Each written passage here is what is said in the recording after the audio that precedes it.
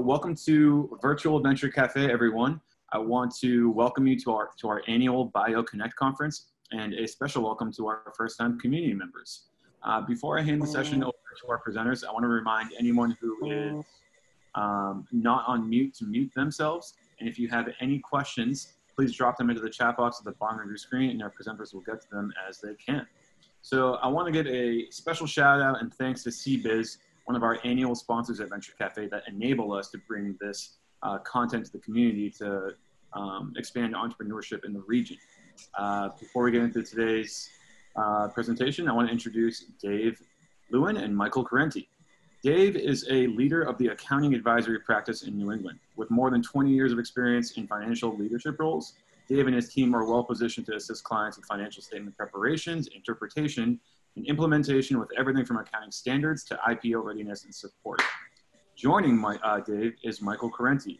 He is the leader of the Boston Tax Group and the life sciences practice in New England. Uh, he has more than 25 years of experience serving publicly traded and privately held clients in the life sciences, tech, and manufacturing industries. Michael uh, has assisted many companies in developing and implementing proactive federal, state, and international tax plans to minimize tax liability. So if there's anybody that you want to ask these questions, these are your people. Uh, without further ado, I'd like to hand it over to you guys. Thanks, Sean. Appreciate it. Uh, looking forward to having a great uh, seminar. Uh, I just wanted to introduce myself. Sean did a great job. I am Michael Corrente, the tax practice leader here for CBiz in Boston. Um, as Sean said, I uh, spend most of my time with life science and technology companies, helping them implement tax strategies. Uh, part of the things that we're going to be talking about today is how to save cash and also minimize taxes um, during a COVID situation. Good afternoon, everyone. This is Dave Lewin. It's a pleasure to meet everybody virtually. Um, as introduced, I'm the leader of the accounting advisory practice here at CBiz New England. And uh, in short, we help companies with anything and everything that would flow through a traditional controller's uh, department and organization. And by way of background, I spent 10 years uh, as an auditor and then spent 10 years out in industry as a controller for Dunkin' Brands, Orchard Brands, and Welch's before joining CBiz. So I typically bring the audit background as well as a real life controllership background to the table. So we hope you enjoy the presentation today and feel free to ask any questions as we move on or save them to the end, either way. Next slide, please. So my presentation is going to cover a number of things that small biotechs and small startups really need to think about as they're just getting off the ground.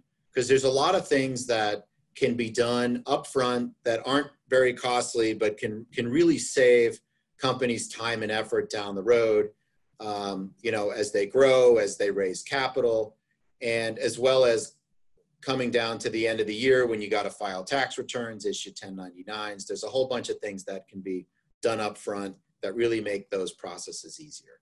So most, if not all startups um, are going to need to pay basic operational expenses when they're just getting off the ground. Many don't have full-time employees. Many use lots of 1099 type consultants. So you want to make sure as you're getting off the ground and you're engaging these different individuals or organizations to help you that you're collecting W-9s, and then to the extent that you're paying international vendors, you're getting your W-8s and your W-8 BENEs. Um, and those really come in, come in handy. So at year end, when you're legally required to issue 1099s to US um, individuals, or um, you're making, again, payments internationally, you can get really hung up on the tax side from international payments if you don't have these W-8s, because you could be on the hook for any withholding tax that you may have neglected to withhold. Um, so just a couple of important steps there. And then when you think about your general accounts payable process, you want to make sure you have a central place for vendors to send their invoices. So many of our, you know, kind of new clients that we get, they vendors kind of go to the different individual employees and they're not really centralized. So it can make keeping it, it can make the, the tracking and payment of your vendors on a timely basis difficult. So you want to set up a good process for that. The other thing we recommend is get your vendors to accept electronic payment. Checks can be you know, timely, costly, more difficult, especially in today's environment where all of a sudden everybody's working from home. The, the, uh, the stash of checks are in the office. So if you've got your, your vendors up to receive electronic payment, it can be very, it can be much more effective and efficient. And lastly, you definitely want to, uh, to create a good formal process for invoice approval, um, especially in you know the, the early stages of companies. Every dime counts, so you want to make sure money leaving your organization is approved by the right level of individual. I get asked a lot, you know, what accounting system should I use? Do I need NetSuite? Do I need Oracle? Et cetera, et cetera. Most small startups are, are completely fine using QuickBooks um, or QuickBooks Online for, for their bookkeeping. And believe it or not, a handful of publicly traded biotechs are still on QuickBooks. Now, by the time comp- companies decide to go public, if they go public, our recommendation is actually they move off it. But there are plenty of, of publicly traded small biotechs that are actually still on QuickBooks. And one other system that a lot of our small companies use is, is, is a company called Bill.com.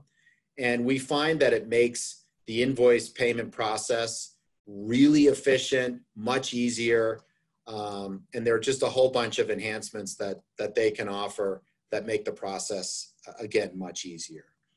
Um, when you think about closing your books, get in the habit early of doing monthly closes. They don't have to be perfect. They don't have to be, you know, super tight, but, but getting in that routine of closing down your books monthly, looking at the results of operations in your balance sheet will really help you um, in the long run and set the stage for a well-controlled environment.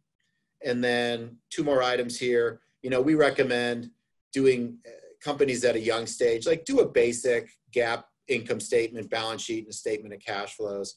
So, you know, at the end of the day, what does that mean? That means doing a good accrual cutoff, um, thinking about those potential complex accounting areas that lot, and we'll get into some of those in a moment, that a lot of companies wait two, three years to start doing, and then they've got to go back and restate their internal books and records to be in compliance with GAAP. But, but, but getting in that habit is really good. And then lastly, you know, working with your accounting advisors to create a good set of accounting policies as well as internal controls, because again, you'll be setting the stage um, as your company grows to be able to issue, um, you know, GAAP compliant financial statements, to have good internal controls. And again, when you're looking to raise capital, people that are investing in you want to know that there's good internal controls in your finance organization. So next slide, please.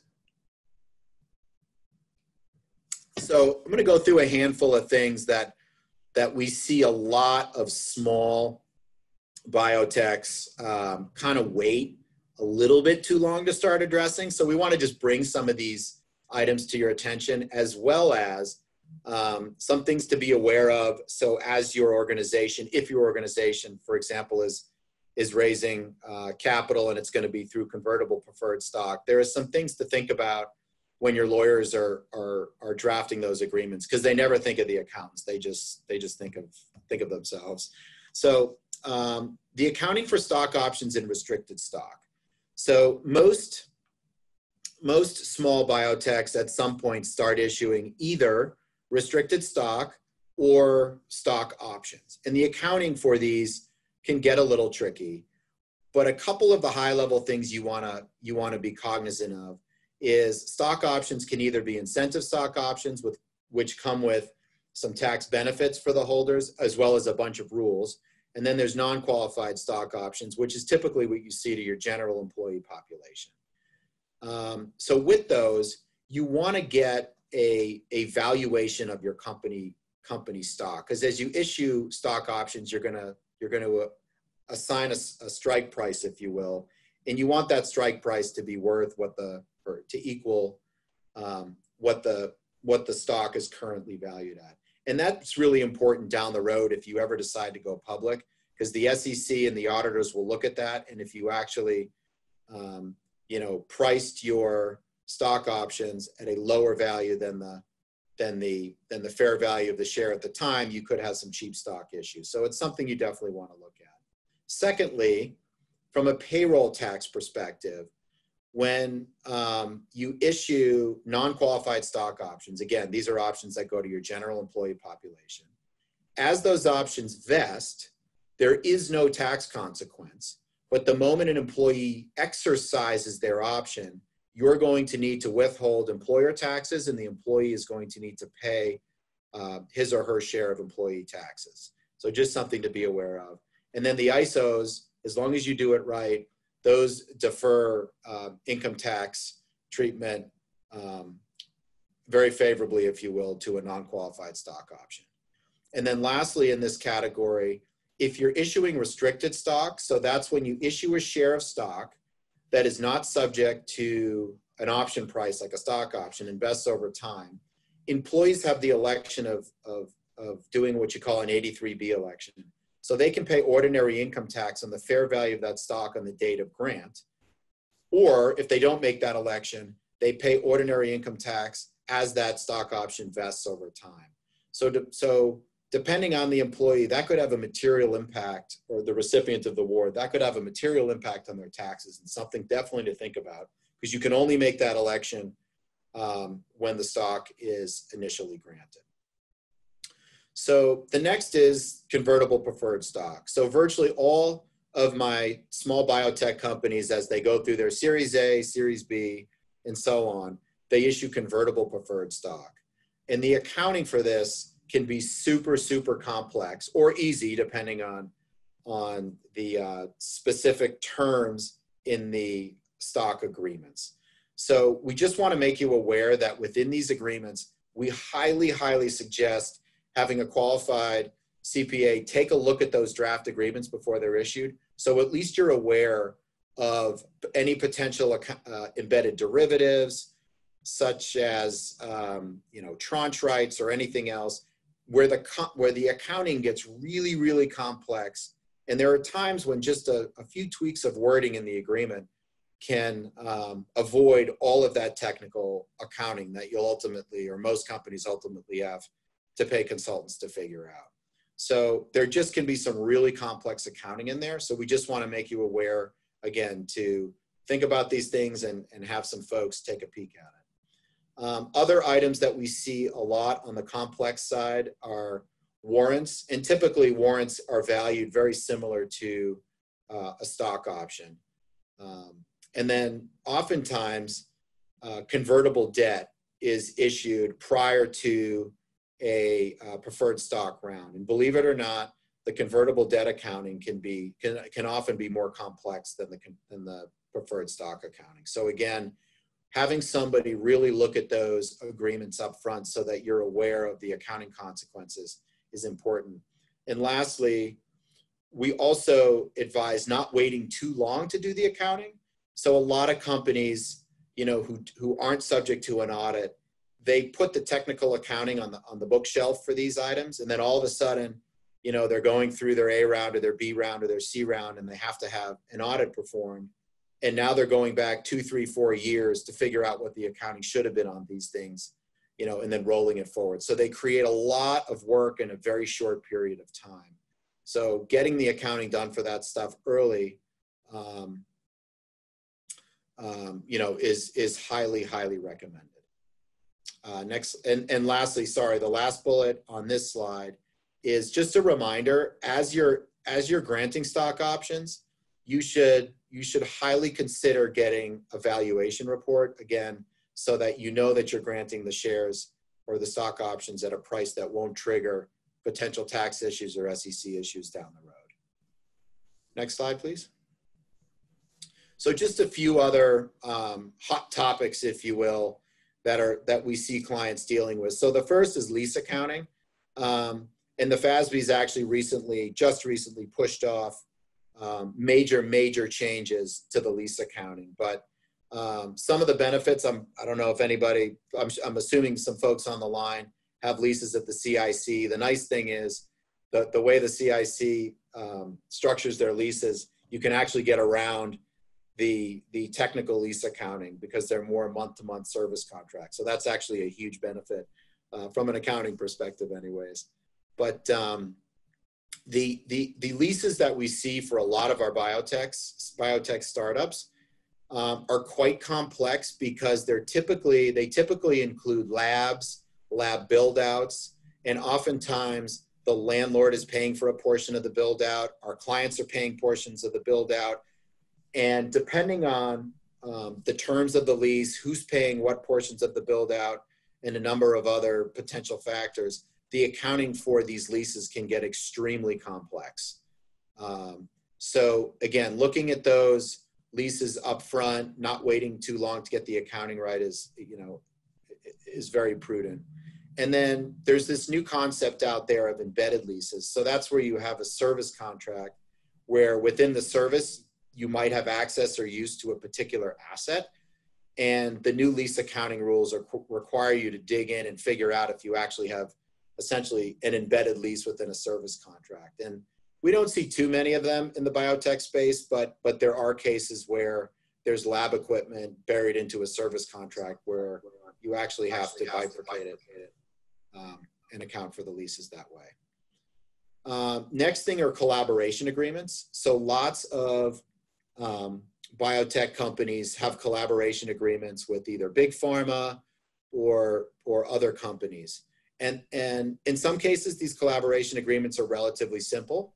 But in other cases, they may um, include a like milestone type payments if certain milestones are made. They may include a future license agreement or royalty agreement if a product is eventually um, approved, let's say by the FDA, and then and then subsequently commercialized. So the accounting for these agreements can be very very complex in terms of when expenses are recognized. Are they recognized over time? Are they recognized up front? Uh, and same with the revenue. Um, the new the new revenue recognition standard, unlike the old, um, requires companies that have these agreements to make a determination if these milestone payments in the future are going to be met and and earlier recognition prior to the cash being received is sometimes the right answer. So these can be very complex, um, and um, you know you want to make sure the accounting for these is right, especially when you're gearing up for your first audit or a potential um, capital raise. Next slide, please. So when we think about as the as as your companies grow and you think about um, fundraising oftentimes as soon as you do that that series a your your new private equity or venture capital owners will require you to go out and get an audit. So again echoing what i said all the things that i've talked about you want to put yourself in the best possible position so that when you have to do that audit number one you're not going back and and and updating and restating your your your prior issued financial statements um, as well as just being able to make it through that first audit with the least amount of pain possible because they're not fun, um, but they're a necessary evil. And, and 99 times out of 100, as soon as you have that Series A, you're going to be required to, to get an audit done. Um, so potential ex exit strategies. Um, so obviously, if you're going to do an IPO, multiple years of, of GAAP financial reporting are going to be required. And quarterly financial re uh, reporting is also going to be required when you file your S1 and then subsequent quarterly reporting. So thinking ahead as to when you think you may want to IPO, if that's the exit route, you really want to start to be cognizant regarding quarterly cutoff, quarterly financial statements, um, and certain accounting rules that are only applicable to public companies um, and not private. Now, most, again, most of our small biotechs, there are rules out there issued by the SEC that allow smaller, um, smaller companies to continue to follow the private company adoption timeline. But that can change overnight if you have a huge IPO and your market cap, you know, exceeds the limit that would trigger you into a large accelerated. Um, having good GAAP financial statements is also very beneficial from a strategic acquisition. So oftentimes, you know, if companies are looking to acquire you, they want to know that they can acquire you and then integrate your accounting into theirs. So having, again, good solid GAAP financial statements uh, makes that process better, and it also makes the organization um, a, a, more appetizing target, if you will, um, for acquisition. And obviously, any of these exit strategies is going to put a significant stress on human capital because uh, you know oftentimes you're working on you know decks and, and, and information requests, due diligence requests. So you know again, having having your accounting done right makes that process a lot easier. Next slide, please. So, you know, when you're thinking about what should I be doing um, myself, what should I be potentially outsourcing, and who would I outsource that to? There's clearly a lot of, of options out in the market today. Um, there are, you know, independent contractors who do work like this. There are very expensive, lar- the large big four firms who do this. And then there are firms like CBIZ.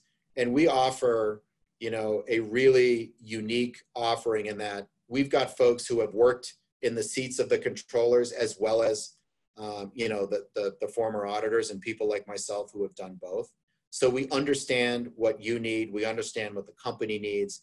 We understand, um, you know, what um, what what what the potential buyers, if you will, are going to need. So we come in and, and we offer a really, really hands-on approach and we tailor that approach to the level that our companies need it. So we're constantly providing you with information around these are things to think about for the next three months, six months, and a year. And these are the things we need to do right now to put yourself in the best position. Um, so, you know, and the other thing that companies like small biotechs, right, in the beginning, they don't have many employees. And as they grow, they're going to start to hire more of a formal team. So what we typically do with our with our clients is once they start hiring for positions where we've been doing the work, we start to train those employees. We have the processes documented. So when new employees come in, it's not like they come in and they're not sure what to do. There's a nice roadmap, um, and we're able to help transition those folks in. Next slide, please.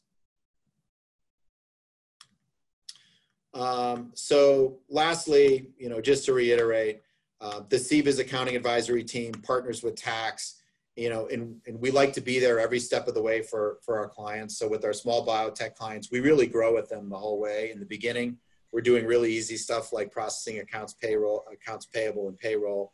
And we grow with our clients all the way until they either have an exit strategy or they decide to go public. Um, we do the general accounting and reporting outsourcing. We assist on the technical account, accounting side. And then again, you know, once, once you've figured out what your exit strategy is, we make sure that we um, help you through that entire process. So I hope that was beneficial. And if anybody has any questions, feel free to ask or we can keep them to the end.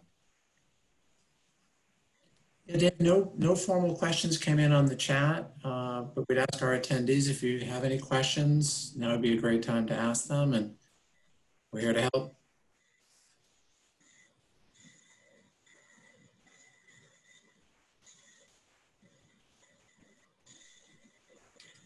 Okay, so I'm going to start in on the fun section now that Dave did his accounting piece. We're going to talk tax, which is always the fun section. That's why we save it to the end. But we're going to talk about is ways to save some cash tax as well as minimize tax and some of the strategies that we've used with clients in the past. So if we can go to the next slide. So our agenda for today is talking about some of the components of the Tax Act that came through with the CARES Act that was passed on uh, March 27th.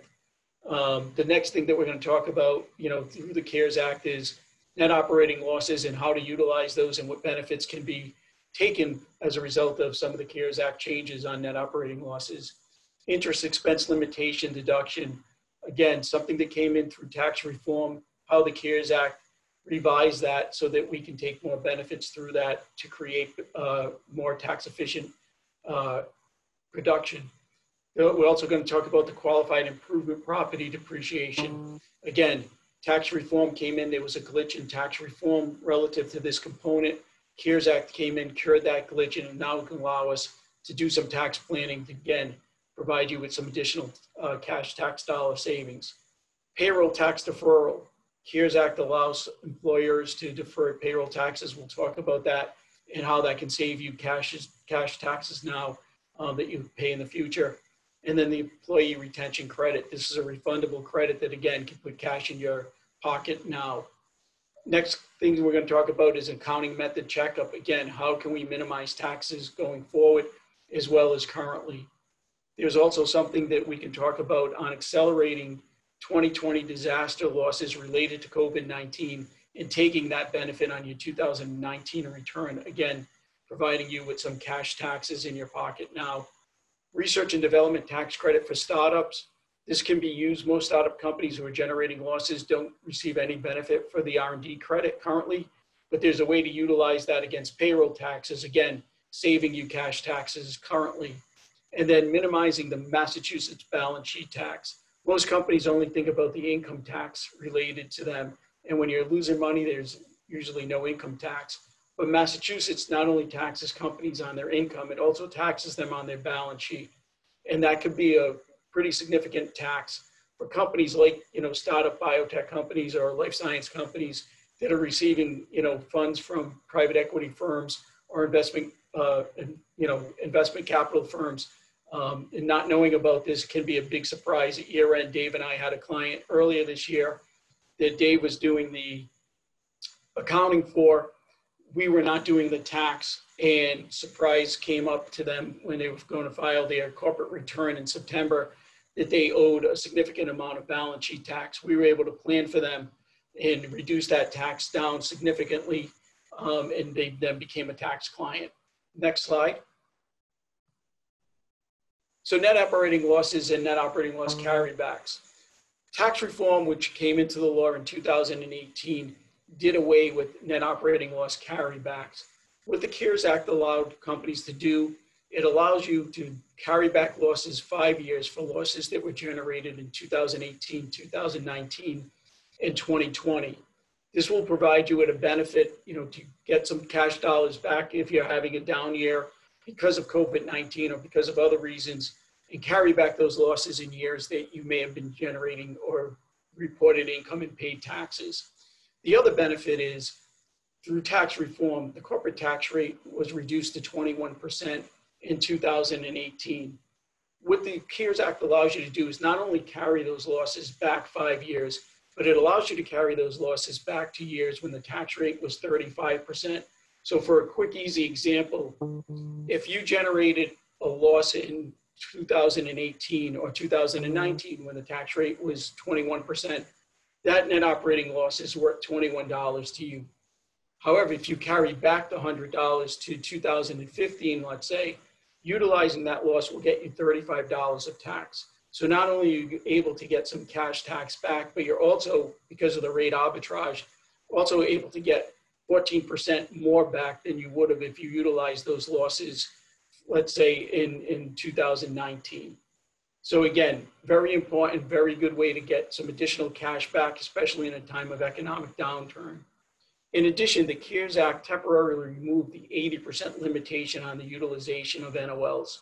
So if you generated an NOL in 2018, 2019, or 2020, and you can't carry it back, you can't currently use it, you're going to carry that forward. Under tax reform, when you carry that forward, you can only use 80% of those uh, losses against taxable income. Now you can use 100% of those losses. So again, easy example, if in 2022 you made $100 of income before the CARES Act came into being, if you carried it loss forward, you could only use $80 against the $100 of income. You'd end up with $20 of taxable income and you would pay a little over $4 of tax. CARES Act comes into place what it allows you to do is carry those losses from 2018, 2019, and 2020 mm-hmm. into 2022 and use 100% of that, thereby saving that 4, $4 of tax. The, you know, what we've suggested and we're going to talk about later in this presentation is what I call counterintuitive tax planning. Companies that are generating losses don't think about how to increase those losses, but because of the ability to carry those forward, those losses forward without the 80% limitation, it may be quite powerful to be doing that so that when you do carry those forward, you can shelter 100% of the loss, uh, 100% of the income in years where you're making a lot of money. Next slide. The limitation on business interest. Again, tax reform limited the deduction on business interest to uh, interest income plus adjusted taxable income or 30% of adjusted taxable income. What the CARES Act allowed you to do is deduct business interest expense. It allowed you to deduct it up to business income, uh, in, I'm sorry, interest income plus 50% of adjusted taxable income. Why is that important? Because now you're allowed to deduct more of your business interest. And again, if that's going to generate more losses, as we just talked about, you could either carry back more of that to get money back or carry it forward and not have the 50 or the 80% haircut. In addition, the CARES Act, because of the economic downturn expected in 2020, allows you to make an election to do the calculation based on 2019 adjusted taxable income when you would, you know, significantly have more taxable income in 2019 that you would be able to use to, to generate uh, more of an interest expense that you can either use in 2020 or you can uh, carry that forward or carry it back. Next slide. Expensing of qualified improvement property, otherwise known as the retail glitch. Again, when tax reform came into the law in 2018, there was an error in the drafting of the law which said any qualified improvement property was going to be depreciated over 39 years.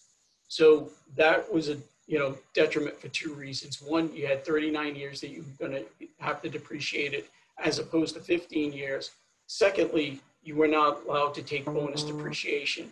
The CARES Act corrected that technical error and now makes that 15 year property, which one, it makes it quicker to depreciate, but also, again, makes it eligible for bonus depreciation.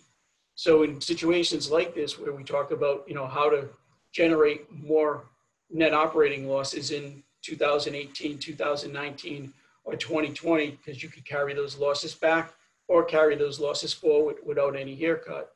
This allows you to do some additional tax planning by taking bonus depreciation in those years. In addition, as I mentioned, this glitch came into being in 2018. CARES Act allows companies to go back to and immediately amend their 2018 return to take the benefit for this uh, bonus depreciation in, in order to get the benefit quicker. Next slide. Delay of payment of employer payroll taxes. So again, the CARES Act allows companies to defer payroll taxes on the employer portion of the FICA piece. So the 6.2% payroll tax piece that the employer would normally pay from March 27th through the end of the year companies can defer 50% of their payroll taxes that would can defer their payroll taxes on the FICA piece. 50% of it would be due on December 31st, 2021, and the other 50% would be due December 31st, mm-hmm. 2022. So again, another way to put money in your pocket currently that you can use to fund operations and defer the payment of those taxes until future years. In addition, if you receive the Payroll Protection Program loan, recently there's been a revision to that where companies who receive that payroll protection program loan can still defer taxes. So if you receive the loan, you got the loan money, you may be able to have that loan forgiven as well as take advantage of the deferral of the payroll taxes and not pay those taxes until 2021 and 2022. Next slide. The refundable uh, retention credit. So again, this is a refundable credit and it impacts companies in either of two situations. One, operations were fully or partially suspended due to shutdown, the government shutdown related to COVID-19, or your gross receipts were reduced by 50% or more because of COVID-15. There's a credit that's available if you are an employer that has more than 100 full-time employees. The credit is available for wages paid to employees when they're not providing services. So you may have people working remotely, but you may also have some people who are not able to work remotely.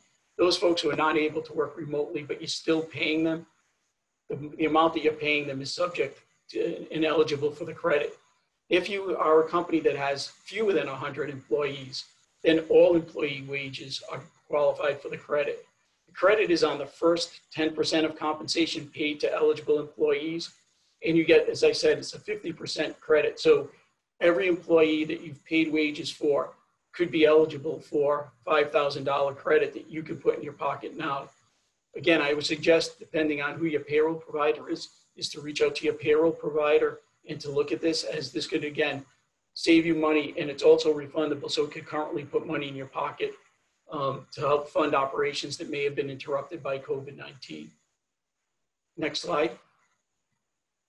Accounting method checkup. So again, I call this counterintuitive tax planning in today's current environment. And the reason for that is companies generally, if you're a startup biotech company, you're generating losses because you probably don't have a, a compound or a drug that you're currently selling and you're not generating any revenue, you're generating losses because of the R&D function.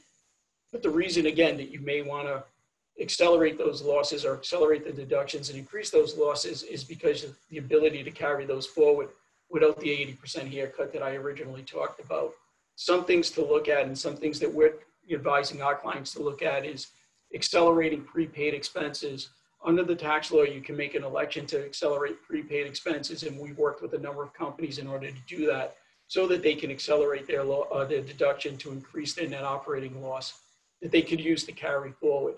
We just talked about fixed assets and bonus depreciation on qualified improvement property, but there are other areas of fixed assets that we can elect bonus depreciation on.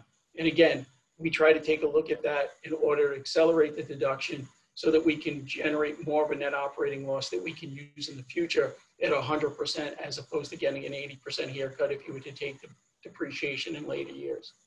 Purchase discounts if you're buying something and you're taking advantage of, you know, the rules that say, you know, 2% if you pay it within 10 days and you're taking that 2% discount, there's a counting method that can be elected that through your cost of goods sold calculation, you can actually reduce your cost of goods sold, which would allow you to have more expenses and thereby reducing your taxable income.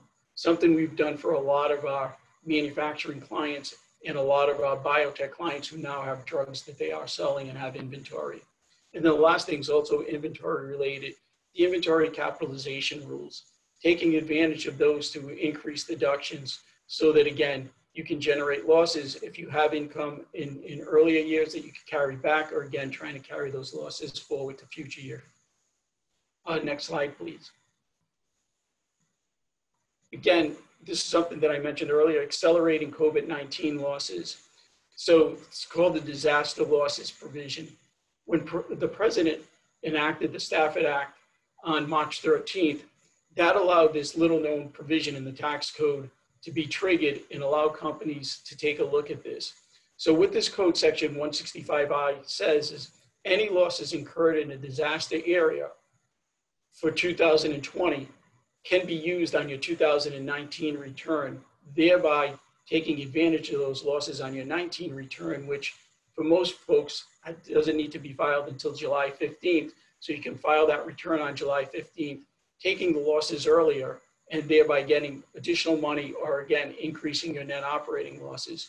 One thing that I want to point out is when this 165I was put into the tax code, it was taken to look for, at specific disaster areas. So for example, if there was a hurricane in an area, there was a tornado in an area, it hasn't been looked at for the whole United States. So when the president enacted this, it was for the whole United States.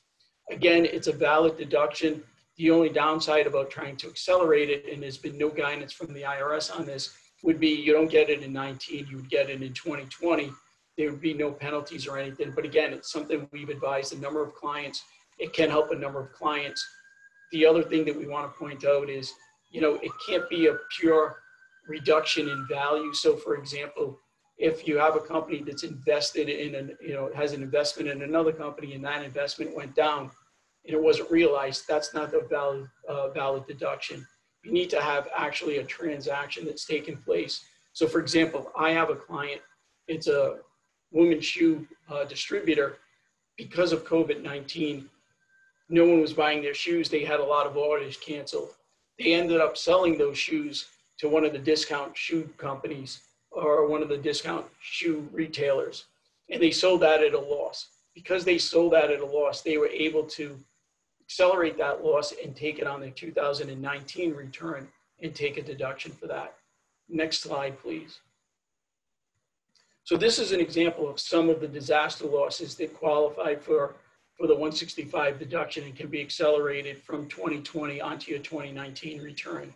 Closure of a store. So if you had a store that closed, you abandoned some leasehold improvements. So you did an, you did a lot of work to your lab or or to your facilities, and as a result, had to abandon the, that facility because of COVID-19. You retired some fixed assets. Again, fixed assets that you may have been using in your manufacturing or your life science process that ended up getting retired, and you disposed of those. This disposal of inventory of supplies, this is something that I've seen a lot in the restaurant industry where they've had spoilage of, of food and stuff because of the fact that they were closed down. Again, that's a loss that currently can take because you can no longer use that. Loss from a sale or exchange of property, as I mentioned, I have a client that, that uh, is a women's shoe distributor. They ended up taking a loss because of the fact all their orders got canceled. In order to get rid of them, they had to sell them at a discount to a, a discount retailer. Loans on mark to market securities. If you have mark to market securities that you're recognizing, again, taking that loss. If you have worthless securities, and you've recognized that as being worthless because of the fact that you invested in a security, that security went out of business, and you have something that you can show that that security went out of business, you can take that deduction. If you had a canceled contract or leases and you get no reimbursement for the cancellation of those contract or leases, that's another deduction that can be accelerated. If you abandon any business transaction, so you're looking at a business transaction, you would you incurred a number of expenses, legal expenses, accounting expenses on that business transaction, and you ended up abandoning it because of the fact of COVID-19, those losses can be uh, deducted and accelerated. And then the prepayment of events or conferences. So for example, this, this webinar, if they didn't allow it to be a webinar and you had paid for it and it was going to be, you know, a regular seminar, and you didn't get a refund for that, those losses can be accelerated and deducted. I think I saw somebody ask a question. Mark, did someone ask a question? Nope. No, Okay, that was, that was me asking um, the attendees if they had any questions for you. got it. So at least I'm paying attention. Hmm. Uh, next slide, please. So research and development tax credit. So in 2016, the research and development tax credit was made permanent. In addition to being made permanent, it was also able to be used, uh, it was also uh, allowed to be used against payroll taxes. And this is really important for startup biotech companies or life science companies because generally you're doing a lot of research and development. The research and development tax credit was only allowed to be used against income taxes, and startup biotech companies will not be making money for a number of years. So in 2016, Congress recognized this and said, you know what, this isn't fair to startup biotech companies who are doing a lot of good work. We should be able to get have them get some benefit. So they allow them to take it against payroll taxes. In order to do that, you need to have current year revenue that is under $5 million. You need to have, you need to either be pre-revenue or have less revenue for the last five years than the $5 million.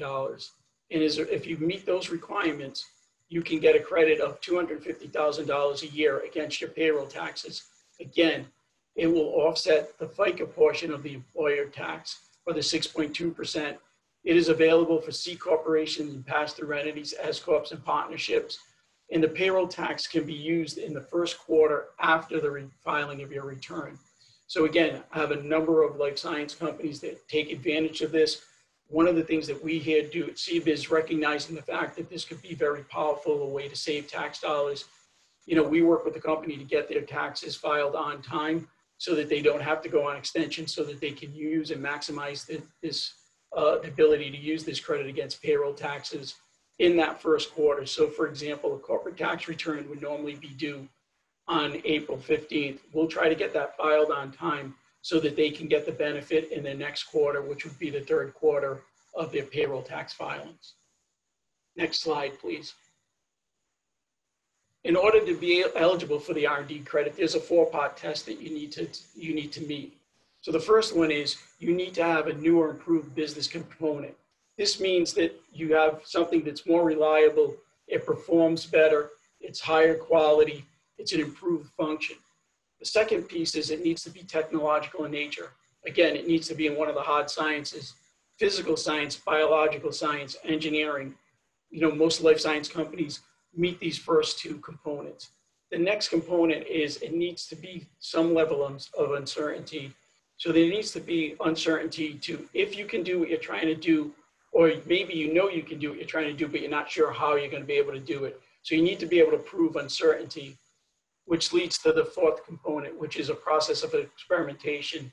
You keep doing some iterative testing on this function that you're trying to accomplish, showing that there's uncertainty by the process of experimentation. If you meet these four tests, then you have met the requirements to have um, expenses eligible for the research and development tax credit, which if we go to the next slide, we can talk about what that means, what type of expenses are qualified. So Next slide, Liz. So there are three types of expenses that, that qualify for the credit. Wages, and this means any wages of folks that have any function in the R&D program. So any wages of anyone who's directly involved in R&D or supervises the R&D function, their wages or the percentage of their time that they're spent in the R&D function will qualify for uh, uh, qualifying expenses for the credit. One thing I do want to point out, if you have someone who spends 80% of their time in R&D and let's say 20% of their time, you know, in some other function, the code allows anyone who spends at least 80% of their time, if you spend 80% of your time, then we can take 100% of your wages. So when we're doing this for our biotechs and our life science clients, we're always looking to see if we can get someone to that 80% limit because then we can, or that 80% level, so then we can take 100% of their wages. The next thing that of qualifying expenses is supplies. Any supply that is used or consumed in the R&D process can be considered to be qualifying expenses eligible for the credit. And then if you're using any outside research firm, 65% mm-hmm. of the cost related to the outside research firm that you're using or the outside consultant you're using are eligible for the credit. Next slide. So the Massachusetts Security Corp, as I mentioned when I went through the agenda, Massachusetts taxes companies two ways. It taxes them on their income at 8%. It also taxes companies on their balance sheet. So for a life science company that just got a bunch of funding from either a private equity firm, an investment capital firm, or maybe you know an IPO, they're not aware of the fact that you also get taxed on your balance sheet and there's a calculation that's done. It's a snapshot of time at the end of the year, whereby you take a look at what your balance sheet looks like. And if uh-huh. you're considered to be a net worth company, then you will get taxed on your net worth. And I've seen a number of life science companies get hit with this and not be prepared for it. So we'll work with our clients in order to come up with the calculation, work with them to see what their burn's uh-huh. going to be so that we can project whether or not they're going to be in a situation where they're going to have a significant net worth tax at the end of the year. And then one of the things that we work with them on is setting up a mass security corp. And the reason that you want to set up a mass security corp is because of the fact that the mass security corp, number one, is not subject to the net worth tax. So what you do is you form a subsidiary, qualify it to be considered a Massachusetts Security Corp, by the Massachusetts uh, Department of Revenue. So there's a number of filings that need to be done. What that will do is that will reduce your net worth tax at the parent company. It will also put the cash down at the at the Mass Security Corp level where you don't have this net worth tax. Net, the, the downside of having the money at the Mass Security Corp level is if any interest and dividends that that company earns will be mm-hmm. subject to tax and you won't be able to use the losses generated at the parent company from a state perspective. However, because of that, the Massachusetts uh, Security Corp is taxed at a very favorable rate of 1.32% as opposed to the normal income tax rate of 8%. So thereby, you're saving yourself a significant amount of net worth tax and you're paying tax at a much lower rate on your investment income. From a federal perspective, it's going to be filed as part of the consolidated return and there will be no additional taxes. But again, it's a very powerful tool that can be used if planned co- accordingly to reduce this net worth tax that a lot of companies are not aware of. Uh, not aware of. Next slide. So again, just wanted to provide you with some cash savings opportunities from a tax perspective um, that we have, you know, mentioned to a number of our clients, consulted with a number of our clients, and have worked with getting implemented so that they can get some real cash dollars uh, in their pockets today and save some tax dollars. Not sure if there are any questions for anybody at this time from a tax perspective. I think there's a question for Dave. So Dave, if you'd like to take that question. Sure. There was a question around how do we handle payments made to overseas CROs? So that's a good question, and I'll answer it. And if I'm not hitting exactly what you want, please just um, just keep asking. So in essence, from a process perspective, you're going to make the payment just like you pay any any other vendor. You get the invoice, you'll approve the invoice, and uh, you'll make the payment. I think a couple of things. If they're in invoicing you in a foreign currency, just be aware of of um, you know of the exchange rates, so on and so forth. But this is a good example of where if you have an overseas vendor, you want to make sure before you make any payments that you've received a W-8 Ben E from them. And essentially what that form will indicate is whether you, the payor, need to withhold any withholding taxes or whether, um, whether you don't. So and, and usually when you do the W-8 Ben E, it allows you to not withhold any withholding taxes and the payee, the, the CRO, will be responsible for any taxes. But if you don't have that form, and let's say the invoice was for $10,000 and you paid the $10,000, but you were supposed to withhold some type of US withholding tax and you didn't, you're on the hook for it, not the vendor. Um, so hopefully that answers the question.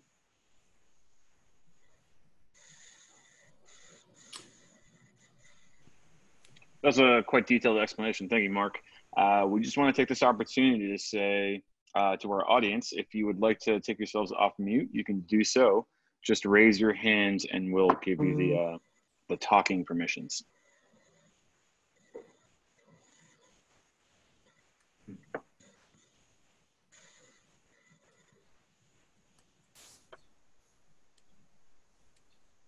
you know, oftentimes uh, I go through these presentations. We've seen about 200 of them at this point, and uh, when sometimes you don't have too many questions, it's actually a good sign as well. So there is one more question that came through. So it says, do we have to send the W-8BEN to the overseas vendor? So, so the short answer is yes. They're the ones that will fill it out. So larger CROs who've done this 20, you know, a million times, they'll know exactly what to do. They'll be very familiar with the form. And then if you're working with, let's say, just a smaller vendor, they may, there's a possibility they may never have done one of these before and they may need some handholding. So Mike and I have partnered together to help our clients, A, get the right form to send over, and then we, we review it when it comes back to make sure that it's, um, it's completed correctly. Yeah, and as Dave said, we've done this a number of times. And Dave and I were just working with a client that was going through an mm-hmm. IPO, and as part of the due diligence process, one of the questions that came up is, you know, were there any outstanding withholding taxes? And because the client was able to prove that they had, you know, they had signed W-8 bennies from all of their overseas vendors, it allowed all the investment bankers to get comfortable with the fact that there was no exposure because that could be a real significant tax um, as you're going public. It's not something that you want to have hanging over your head. And it's funny, Mike, I remember way back, it was one of the very first things we did with this particular client when we first got hired. Exactly. Oops, that's me, sorry. Any other questions? Uh, I do have a question. Um, are these slides available for all of the folks that participated today? Um, I'm happy to share them. Uh, Sean and Claudia, I don't know what's the um, best way to do that, but I'm happy to, to send them out.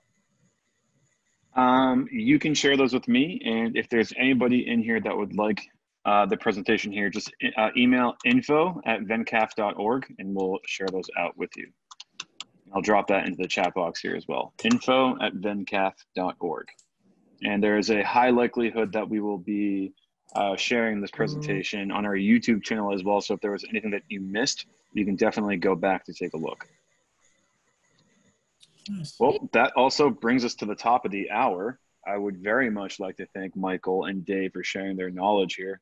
Um, uh, CBIZ is not only uh, our partner in terms of accounting, but they are, are an annual sponsor of ours, and I can see that we're in good hands. So I want to thank both Dave and Michael uh, for volunteering their time today and being here with us. Uh, today is our annual Bio Connect. If you would like to be directed back to the homepage to see the rest of the evening's agenda, you can go to www.vencaf.org forward slash sign in. Otherwise, it's been great to see y'all, and we'll see you around soon. Thank you very Thanks, much. everybody. Nice, nice meeting you virtually. Thank you so much.